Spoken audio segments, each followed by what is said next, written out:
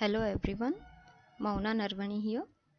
So today we'll be discussing on the example of addition theorem for probability. So the question here is an integer is selected at random from 3 through 17 inclusive if a is the event that a number divisible by 3 is chosen and b is the event that the chosen number exceeds 10. Determine probability of A, probability of B, probability of A intersection B and probability of A union B. Let's look at the answer. First, before solving, uh, identify all the given information from the question. So here, the number of integers from 3 to 17 inclusive is 15. So that is totally there are 15 numbers from 3 to 17. That is 3, 4, 5, 6, 7, so on up to 17.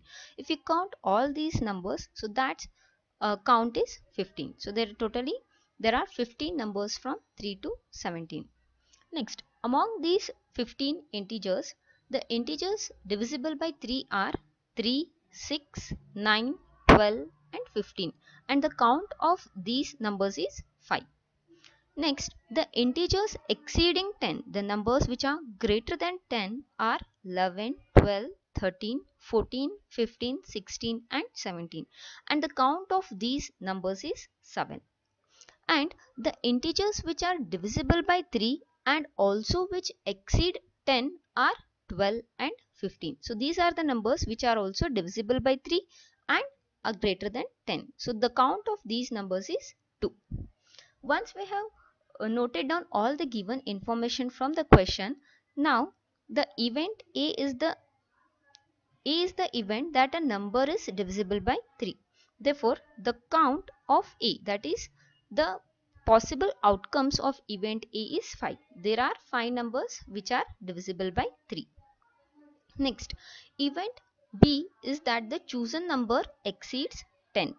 So the chosen number exceeds 10 is equal to 7. So these are the 7 numbers which are greater than 10. Next, next we need to find A intersection B. So A is nothing but the event where the integer is divisible by 3. B is nothing but an event where the integer exceeds 10.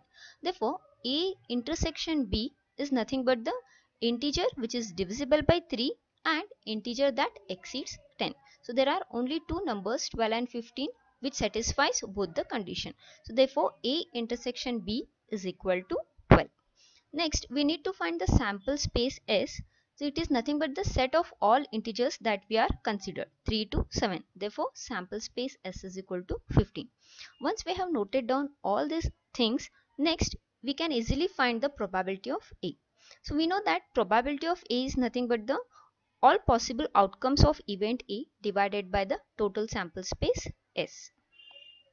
A by S. So the answer uh, event A uh, possible outcomes of event A is 5 divided by sample space 15. So that results into 1 by 3.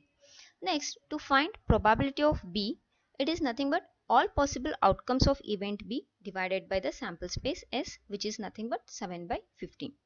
Next to find probability of A intersection B, it is nothing but all possible outcomes of A intersection B divided by the sample space S. So that is equivalent to 2 by 15.